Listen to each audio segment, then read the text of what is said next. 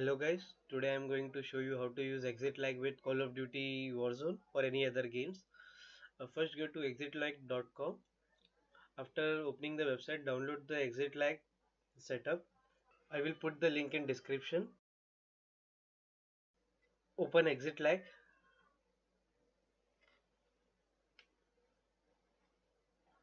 First it will start analyzing the routes. Uh, it takes time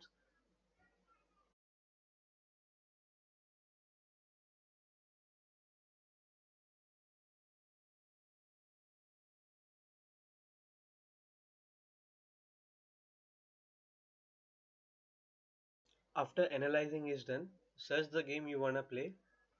Uh, for example I'm using Call of Duty Modern Warfare. After selecting the game you can select the server in which you want to play. There are so many servers like South America Asia Europe and other servers. You can select the uh, server which you want to play. After selecting the server it will show the ping on that server uh, like your estimated ping.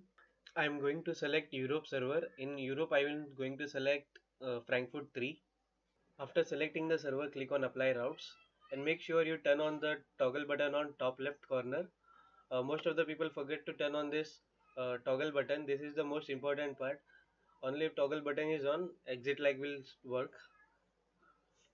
Now you just have to launch the game which you have selected in ExitLag. then the game will launch in that particular region.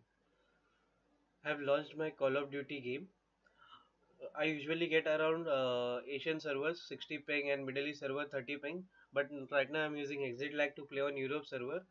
So my game will start searching only on European server